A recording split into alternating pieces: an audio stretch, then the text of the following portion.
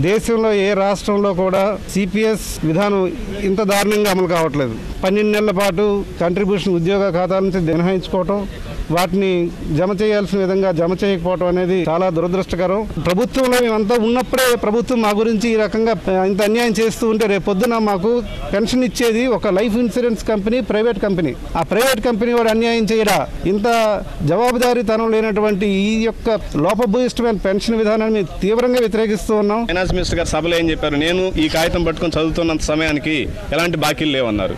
మరి ఇక్కడేమో మా చెప్పే చేతలకి చేసే చెప్పే మాటలకి చేతలకి పొంతన కుదరట్లేదు. దాదాపు మూడు వేల కోట్లు సిపిఎస్ కంట్రిబ్యూషన్ పెండింగ్ ఉంది. ఎప్పటి ఇంతవరకు ఈ పదహారేళ్ళ చరిత్రలో ఎప్పుడు ఇంత ఇన్ని నెలల కంట్రిబ్యూషన్ లేదు. ఏదో ఒక నెల రెండు నెలలు ఆగేది తర్వాత మూడో నెలలు వేసేసేవాళ్ళు. ఇంత భారీ స్థాయిలో పెండింగ్ ఉండటం అనేది ఇదే మొదటిసారి.